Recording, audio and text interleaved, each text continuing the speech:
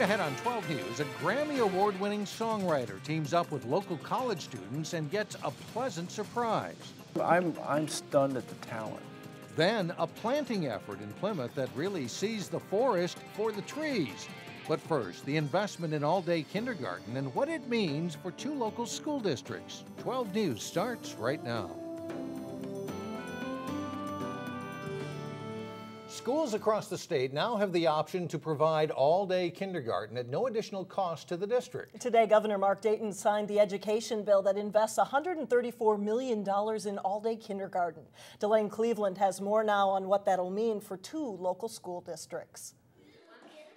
Yeah, I do. Kindergarten at Earl Brown Elementary School is a mixture of learning And hanging out with our friends. and playtime We need to tie them. mixed with a little artistic expression. Making tie-dye shirts. It's also an all day affair and has been for the past 12 years. It's attractive. We, we attract a lot of kids from other districts that want all day. 178 kids take part in the all day kindergarten program at no additional cost to parents. When you're 80% poverty, uh, fee-based is prohibitive and, and, you know, our goal has been as a community school district and before that, to give every child equal opportunities. That means the cost comes from the school's general fund to the tune of $300,000 a year. This is a priority. Principal Jane Ellis calls it money well spent. It allows teachers the ability to expand upon content.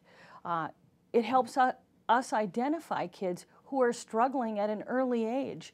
It just has multiple rewards for us in getting to know the learner. And now that the state has decided to fund all day kindergarten, the district will soon have more money to spend on general education. It would be to put our librarians back in the building. A full day offers, I, I think, a lot more. Meanwhile, in the Robbinsdale School District, We're really excited that that uh, full day kindergarten is going to be uh, funded for Minnesota students. district officials say they're excited, but they have some planning to do. We're in the very early stages of doing space analyses and you know facilities analyses and you know taking a, a, a good look at our enrollment our, our enrollment projections to find out what this is going to mean Nearly 400 students are enrolled in full day kindergarten at Robbinsdale schools, which costs their parents roughly $3,000 a year. now we have fully funded all day kindergarten coming But by 2014, it won't cost them a cent. It's easy. Back in Brooklyn Center, school officials are thrilled about what this means for the next generation of students. What we see is that kids are better prepared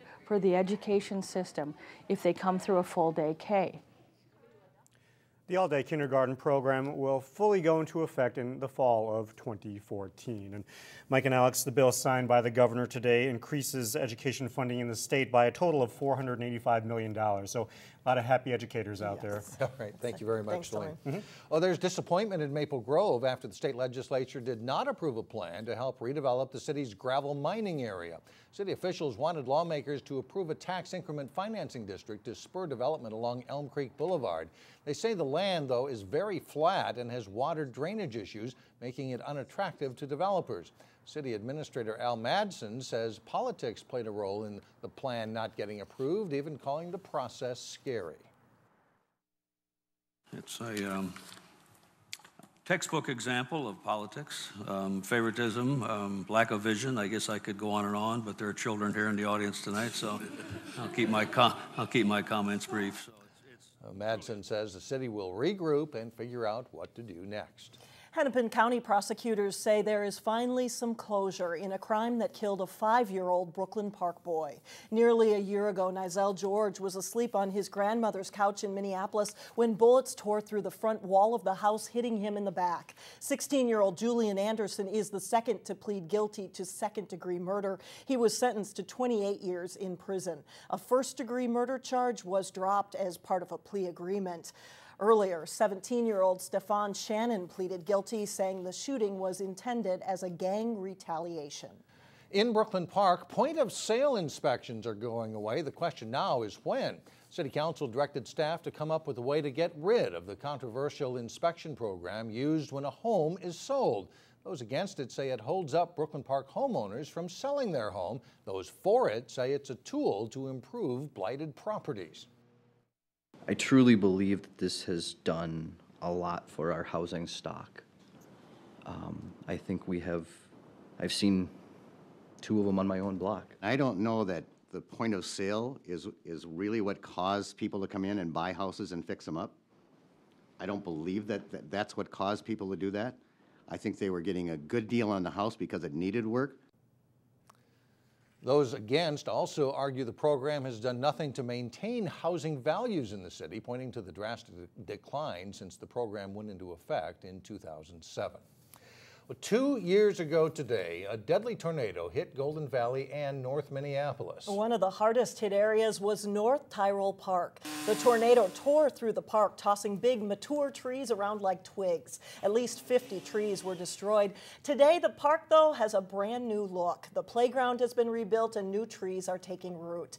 And just last week, more trees were planted in the park. The DNR gave the city a grant to buy trees while residents collected about $25,000. I think primarily it was a major aesthetic improvement for the entire neighborhood. Uh, kind of uh, before and after the effect, uh, the neighborhood being able to organize and plant such nice trees really improved the aesthetics of the entire park. The city says there was some money left over from the tree fund, which will now be used to build a trail in the park. Speaking of trees, there is a brand new forest that's taking root in Plymouth. The city held a tree planting event in the Northwest Greenway to celebrate Arbor Day and the 20th anniversary of the city's volunteer program.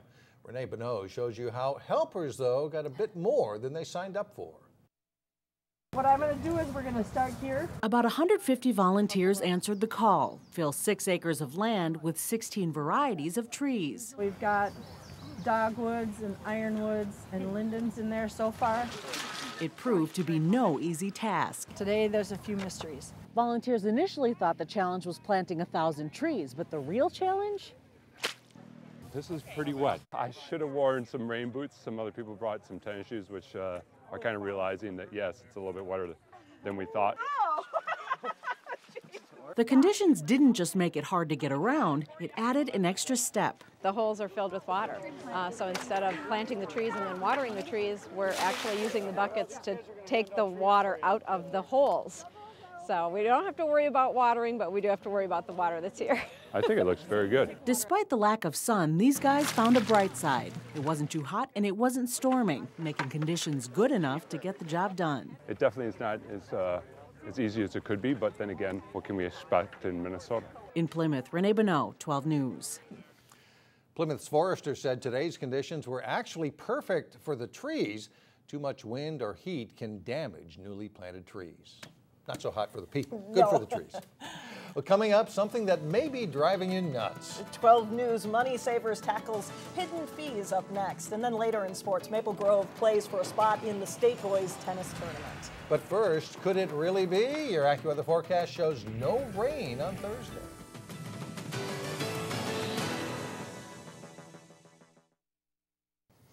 Recent study says 9 out of 10 people just skim over bills for major purchases. What they might miss is something called gray charges or hidden fees that are completely legal.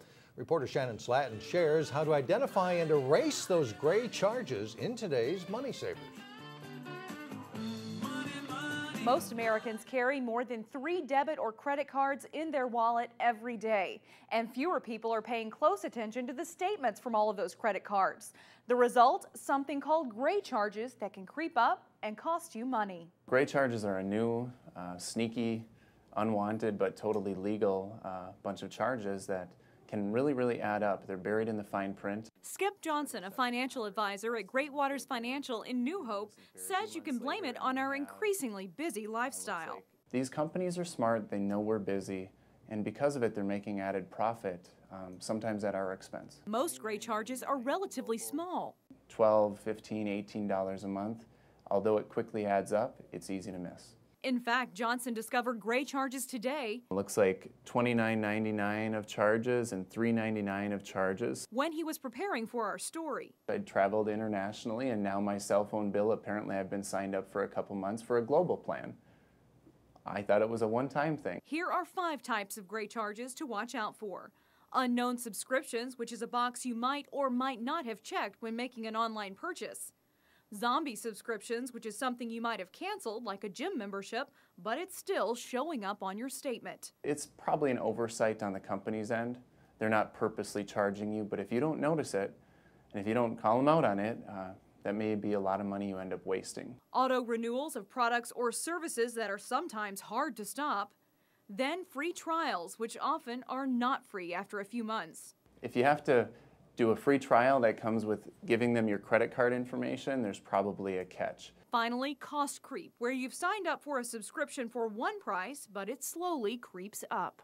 It's really pay attention, pay attention, pay attention. While this type of charge might be something new, the way to avoid gray charges is anything but. Read your bills and take action if something isn't right, pay attention to the fine print, and finally, remember, nothing is free. For Money Savers, Shannon Slatton, 12 News. All right, good to know. Still ahead, he helped write songs for artists like Faith Hill. Later in the show, meet the songwriter now helping North Hennepin students. But first up in sports, highlights from opening day of the Northwest Suburban Conference Track and Field Championships. John Jacobson is in next.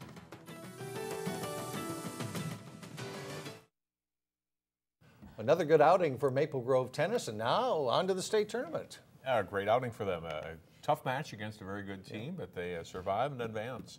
Maple Grove spent a lot of years chasing teams like Mounds when it came to playoff time in boys tennis.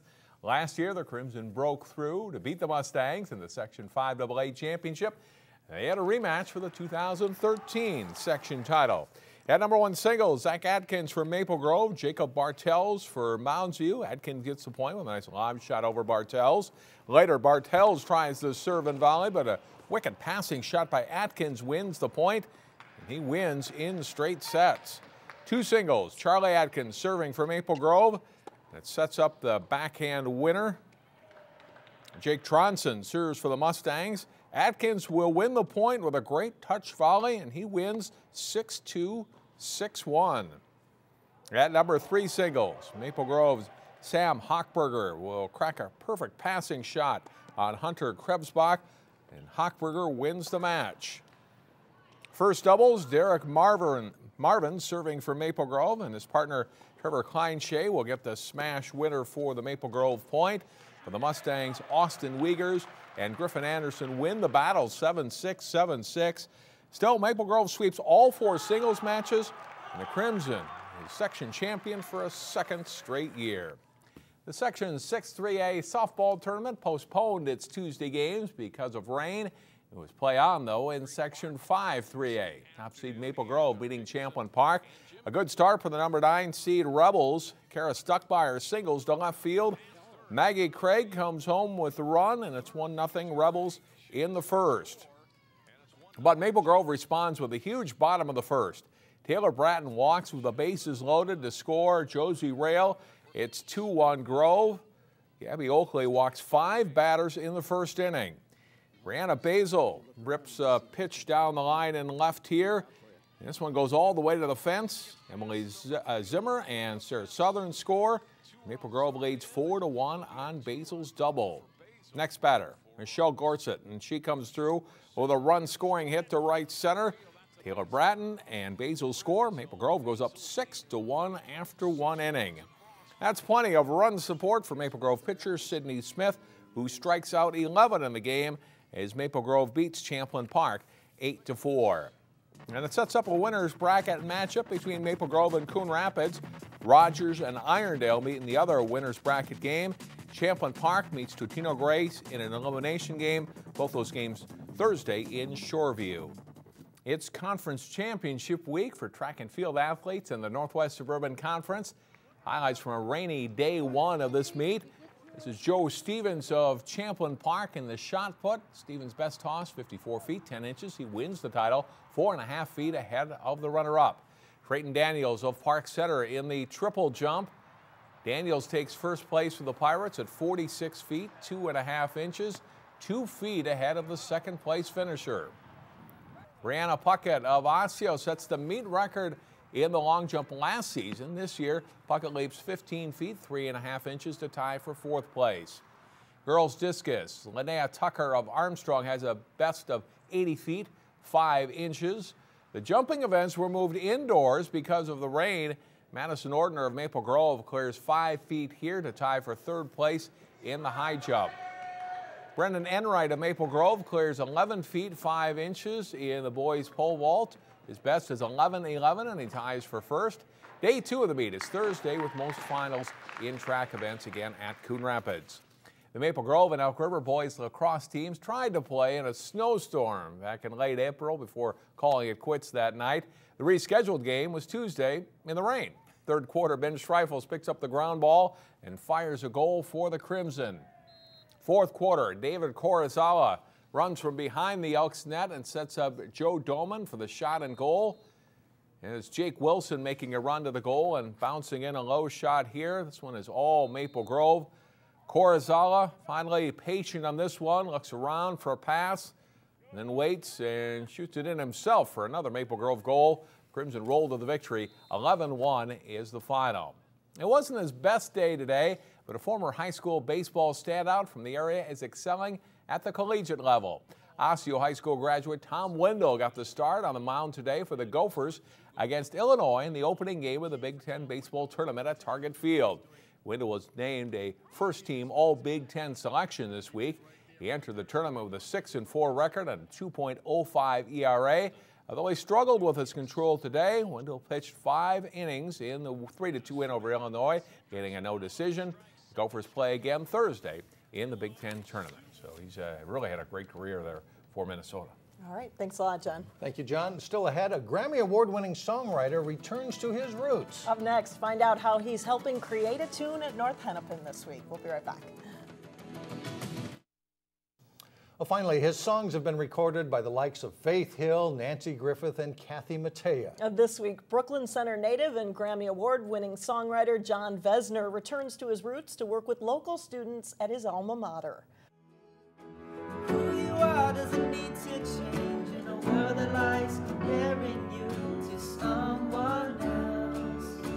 That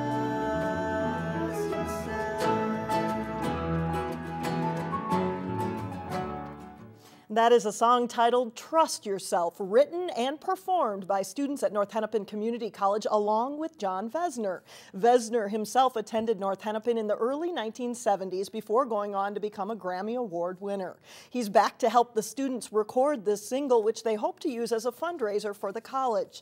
Vezner says the student song has an important message about being yourself in a society that often follows a cookie cutter mold we're sort of in this uh, American Idol, uh, you can be a star uh, where you need to look this way. But the ones that really stand out are the ones that, that stand up for themselves and stand out as themselves. The students will record their song with Vezner on Thursday at a Minneapolis studio, and he is back in the very same classroom where he learned Hmm. music. So neat Very for him cool. to return. That was about only half the half the band. 14 students at North Hennepin. So yeah, sounded good, and only half of them there in our when we were there. Yeah, it'll, it'll be fun to hear the rest of them. that does it for us. We'll see you tomorrow.